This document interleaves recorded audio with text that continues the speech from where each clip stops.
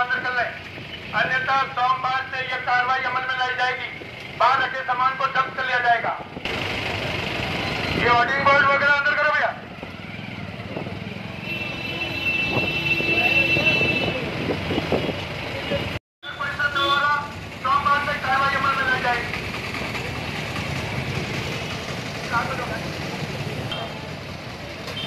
ये सभी दुकानदार कृपया ध्यान से सुन रहे जिन दुकानों के आगे मकान ये जिन जिन दुकानों के आगे सामान है। वे अपना सामान अंदर करना भैया। अन्यथा अमल ये सोमवार से कार्रवाई अमल में लाई जाएगी। अजमेर के संयुक्त तत्वाधान में कार्रवाई को अमल में लाया जाएगा। जिन दुकानों के आगे सामान है, वे दुकानों का सामान अंदर करना भैया अन्यथा सोमवार को बड़ी कार्रवाई करते हुए नगर परिषद पार्टी द्वारा बाहर रखे सामान को जब्त कर लिया जाएगा आज तो सिर्फ़ हिदायत दे रहे हैं अंदर करो सामान को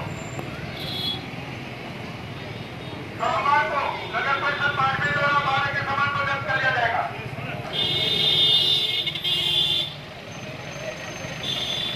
ये चश्मे वाले चश्मा रोज़गार या मंडी पर भोपाल पर उन सामानों को अंदर करो भैया अन्यथा सोमवार से कार्रवाई अमल में लाई जाएगी ये अभी कोई नहीं आ गया अठारह को ये सभी व्यापारी बंधु कितना ध्यान से सुन रहे हैं इस बात को इन दुकानों के आगे सामान वगैरह हमको जब्त किया जाएगा कोई ज़रूरी अन्यथा नगर परिषद पार्टी द्वारा सोमवार को बड़ी कार्रवाई करते हुए बाहर के सामान को जब्त कर लिया जाएगा